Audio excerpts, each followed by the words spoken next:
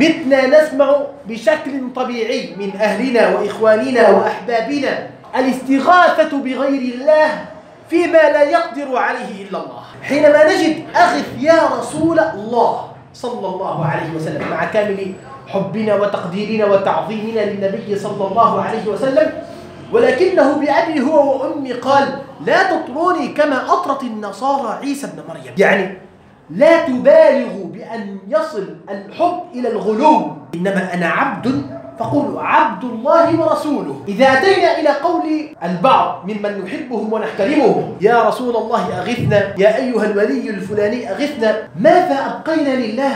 الله سبحانه وتعالى يقول وإذا سألك عبادي عني فإني قريب. بالقرآن في ثلاثة عشر موضع في كلمة ويسألونك أو وإذا سألك.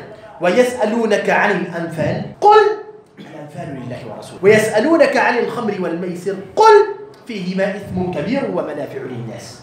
ويسألونك عن اليتامى قل إصلاح له خير. كل كلمة يسألونك فيها قل. بس وإذا سألك عبادي عني في قل ما في قل. وإذا سألك عبادي عني فإني قريب. عبى الله أن يجعل بينك وبينه واسطة.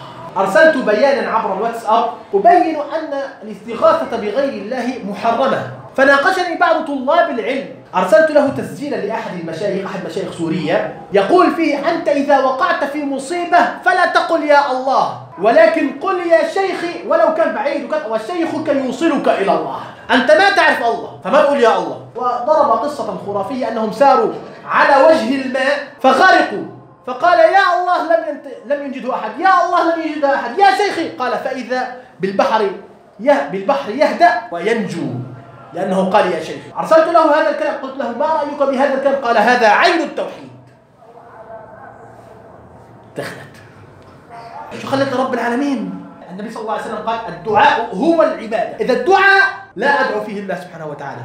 لكن أدعو فلان وفلان. ثم يخرج بعض الأحبة والإخوة ممن نحترمهم أيضا ويقول هذا من باب المجاز يعني أنا أقول يا فلان وأنا أضعه واسطة بيني وبين الله يعني أضع النبي صلى الله عليه وسلم واسطة بيني وبين الله أو فلان بيني وبين الله. وقالوا لا تذرن آلهتكم ولا تذرن ودا ولا سواعا ولا يغوث ويعوق ونسر ود سواع ويغوث ويعوق ونسر أسماء رجال صالحين كما قال ابن عباس رضي الله عنه. كانوا يعبدون الله. فلما ماتوا جاء الشيطان وسوس إليهم أن ابنوا لهم تماثيل. فإذا رأيتم التماثيل تذكرتم عبادتهم فعبدتم الله. وفعلا بنوا لهم تماثيل في الأماكن التي كانوا يعبدون الله فيها. فكان الشخص فيهم يلهو ويلعب. فإذا مر بجوار هذه التماثيل تذكر الله سبحانه وتعالى. فخشع وخضع. حتى إذا هلك هذا الجيل الجيل اللي بعده كان يشوف الولد الصغير عم يشوف أبوه إنه عم يمرق هي التماثيل. شو؟ يصير في عنده نوع من الوجل ولما بده يدعي يقرب حدهم فجاء الشيطان إليهم قال أهلكم وآباؤكم وأجدادكم كانوا يعبدون هذه التماثيل فعبدوهم من دون الله. وكانوا يقولون ما عبدناهم إلا ليقربونا إلى الله زلفى. نحن نعترف بالله سبحانه وتعالى. ولئن سألتهم من خلق السماوات والأرض يقولون الله يعترفون ولكن عبدوهم ليقربوهم إلى الله. إذا قلت يا بدوي أو يا جيلاني أغثني. أو قلت يا ود ويا سواع ويا يغوث ويا يعوق ويا نصر أغيثوني. شو الفرق؟ والمشكلة حتى أنا سالت أحد هؤلاء الإخوة والأحبة. قلت له أنا لو قلت يا نصر ويا سواع أغيثوني فيها مشكلة؟ لا ما فيها مشكلة. طلع أبو جهل وأبو لهب كثير كيوت. يعني عم بدعوا ود وسواع ويغوث ويعوق ونصر فهمانين القصة الله عندي رب العالمين يقول للشيء كن فيكون قريب مجيب. قال ونحن أقرب إليه من حبل الوريد. كل هالأشياء آخر شيء. أدعو الله سبحانه وتعالى أدعو دعاء الله سبحانه وتعالى وألتجئ لغيره. لا نترك دعاء الله لأحد. ولا نستغيث بأحد إلا الله يقول النبي صلى الله عليه وسلم.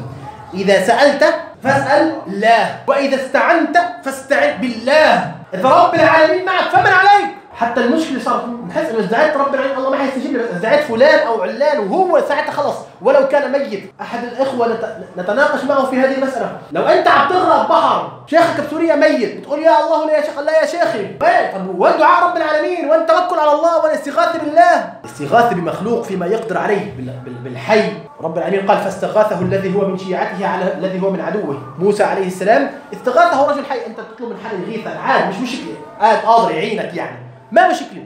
بس أستغيث بميت أو أستغيث بحي فيما لا يقدر عليه إلا الله أجي أقول لواحد يشفيني لا هون هون في خلل كبير بصير. وكيف تنسى ملك الملوك وترتجي نفعا من المملوك؟ والله حي قادر سميع والعبد ميت ليس يستطيع. الله يغضب كما صح في الحديث إلا تسألها أنت تكون بحاجة تروح تطرق أبواب الناس وما تطرق أبواب رب العالمين رب العالمين أكرم الأكرمين يغضب. كيف عم عم نرجو المخلوق؟ فأحببت الإضاءة على هذه النقطة المهمة وعودا حميدا إلى العقيدة فلا صلاح لنا إلا بالعقيدة. أقول قولي هذا وأستغفر الله لي ولكم فيا فوز المستغفرين أستغفر الله